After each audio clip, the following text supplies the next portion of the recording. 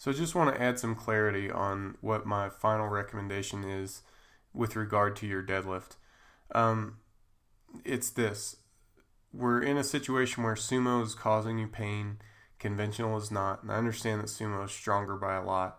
But in my mind, you have two choices. One is that you can talk to a professional, probably Jake, and see if you can get the pain issue sorted out with your sumo. Your other option is to stick with conventional and make that strong. Um, I don't think anything else is really a possibility.